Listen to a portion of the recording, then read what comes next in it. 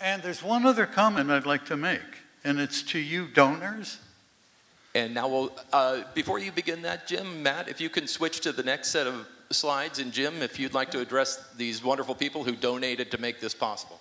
Uh, you did a really good thing. Without you guys, none of this would exist.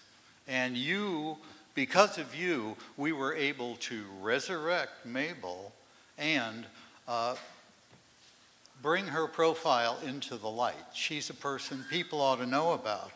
But here's something you didn't know how much good you did.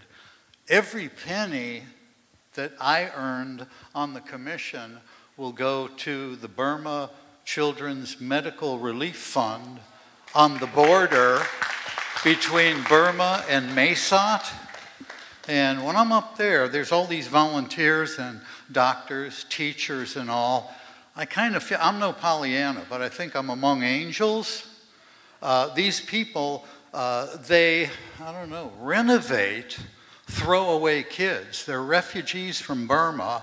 They're illiterate, uneducated. They never had schooling. They never had medical care. So they're pulled into the clinic there and they're repaired. They talk about repairing them. Once they're repaired, they educate them, teach them how to read and write, and uh, the older ones, they teach them English and computers.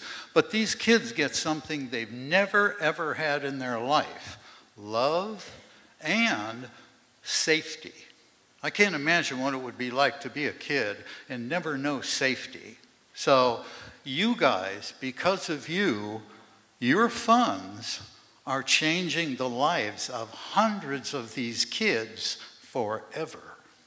So I salute you. And I would just um,